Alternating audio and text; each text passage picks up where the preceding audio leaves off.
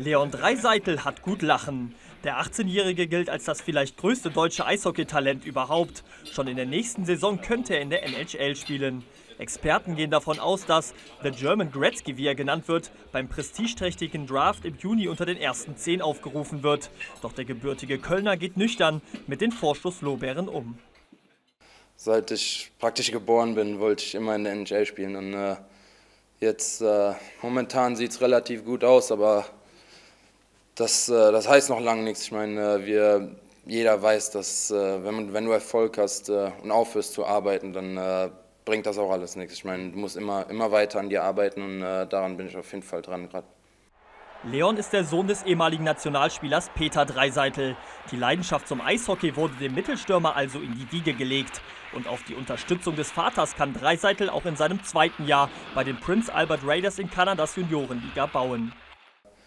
Ich habe nie irgendwie Ärger bekommen, wenn ich schlecht gespielt habe. Der hat mich immer mein Ding machen lassen und äh, war auf, äh, immer für mich da. Auch immer, wenn ich, äh, wenn ich mal ein schlechtes Spiel hatte oder irgendwas, dann, äh, dann war er auf jeden Fall immer da, hat mich aufgebaut. Und äh, natürlich auch seine Tipps, die sind äh, sehr, sehr, sehr hilfreich. Die Kleinigkeiten, das weiß er schon auf jeden Fall. Ab dem zweiten Weihnachtstag spielt Dreiseitel mit der deutschen U20-Auswahl bei der Junioren-WM in Schweden. Vor den Augen unzähliger Scouts aus der NHL. U20-Bundestrainer Ernst Höfner weiß, wie wichtig das Ausnahmetalent für das DEB-Team ist und schätzt dessen Bodenständigkeit. Er ist einer von den besten Spielern und auch der beste Spieler weiß, dass ein Spieler allein keine Weltmeisterschaft äh, oder Siege bei der Weltmeisterschaft äh, erreichen kann, sondern er weiß, dass er auf die Mitspieler angewiesen ist, dass wir als Mannschaft zusammenwachsen müssen, dass wir als Mannschaft gut spielen müssen und nur dann kommt auch seine persönliche äh, Leistung zur Geltung.